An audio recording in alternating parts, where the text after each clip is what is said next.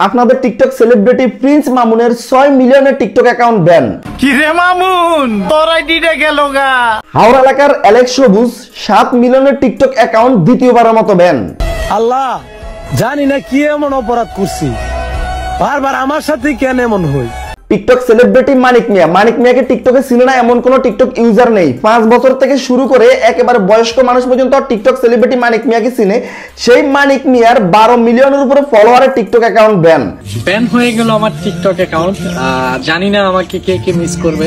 Guys TikTok এটা কি শুরু করল? যারা বড় বড় সেলিব্রিটি আছে তাদের টিকটক অ্যাকাউন্টগুলো ব্যান করে দিচ্ছে এবং তাদেরকে টিকটক থেকে সরিয়ে দিচ্ছে।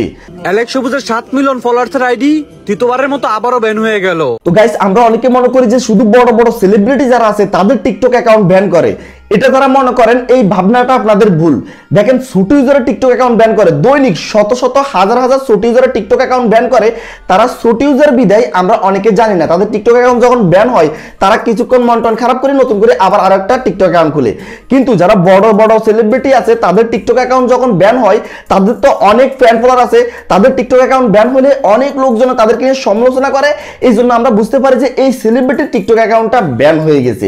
কিন্তু ব্যান সবার হইতেছে। ইদানিং টিকটকে হাজার হাজার টিকটক অ্যাকাউন্ট ব্যান করে দিচ্ছে ছোট্ট একটা ভুলের কারণে। আজকে আপনি আমার এই ভিডিওটা দেখতেছেন, আপনি মনে করেন বেঁচে গেছেন, না হলে আপনার টিকটক অ্যাকাউন্টটা যে কোনো মুহূর্তে ব্যান হয়ে যেত এই ছোট্ট ভুলটার কারণে। এই ছোট্ট ভুলটা কিন্তু আমরা সবাই করি। আমি নিজেও পার্সোনালি করছি, আমিও করার কারণে আমার টিকটক অ্যাকাউন্ট ব্যান করে দিয়েছে। তো আপনারা যদি এই ছোট্ট ভুলটা করেন যে কোনো মুহূর্তে মিনিটের ভিতরে আপনার টিকটক অ্যাকাউন্ট ব্যান হয়ে যাবে। তো সেই ছোট্ট ভুলটা কি আমি আপনাদেরকে বলতেছি?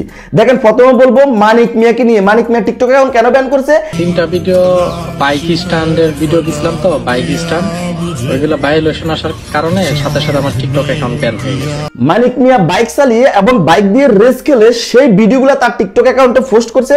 যখনই তার বাইকের ভিডিওগুলো টিকটক অ্যাকাউন্টে পোস্ট করছে সাথে সাথে তার টিকটক অ্যাকাউন্টটা ব্যান করে দিয়েছে।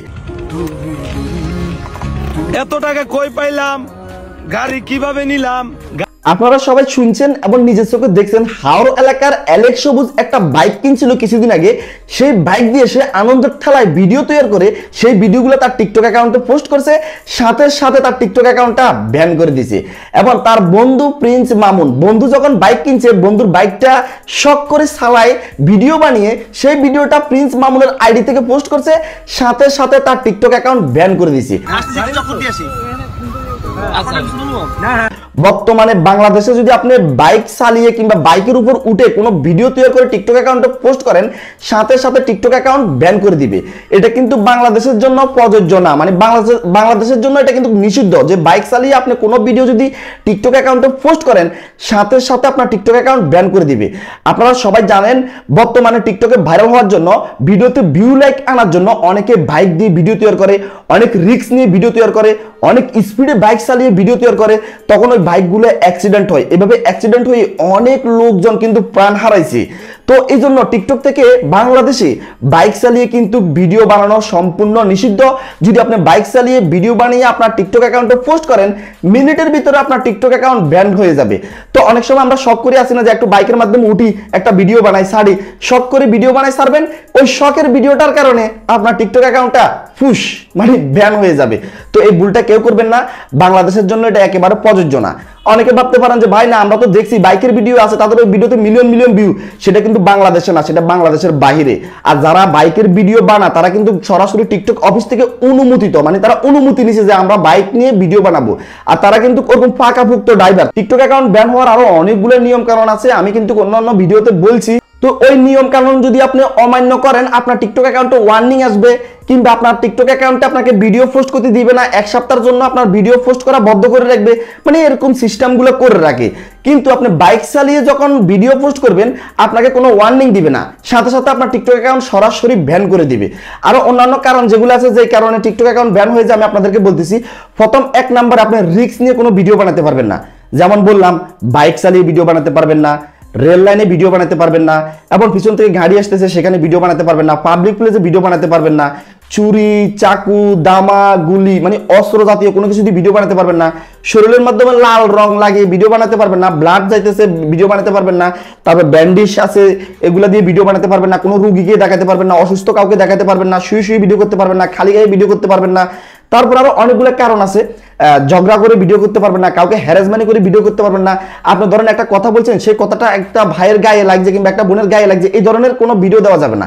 আপনার কথার ভিতরে কোনো অশ্লীল কোনো কথা থাকতে পারবে না, যারা ভয়েস ভিডিও তৈরি করেন ভয়েস ভিডিওর মাধ্যমে কাউকে গালি দেওয়া যাবে না, রাজনীতিক আলাপ করা যাবে না। আরও অনেকগুলো কারণ আছে, আপনার সকল রুলস মেনে চলতে হলে আমি এক কথাই বলব, আপনি যেখানে ভিডিও বানাবেন, ভালোভাবে লক্ষ্য করবেন পিছনের ব্যাকগ্রাউন্ড ঠিক আছে কিনা, পিছনে কোনো অস্ত্র জাতীয় কিছু আছে কিনা। আপনি ভিডিও বানাচ্ছেন, পিছনে মারামারি করতেছে। ওই মারামারির কারণে আপনার টিকটক ব্যান করে দিবে। এবং পিছনে কোনো পুলিশ, সেনাবাহিনী, সরকারি কোনো লোক আছে কিনা, এগুলো ভালোভাবে লক্ষ্য করতে হবে।